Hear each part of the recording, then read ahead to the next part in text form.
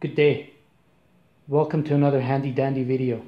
Recently, some people have brought to my attention that I probably should have included a demo video at the end of the video I put on how to install and build how to build and install these Wing Chun dummy arms. So I took the time to make that uh, demo video that I was lacking in my previous video. So I hope you enjoy this one.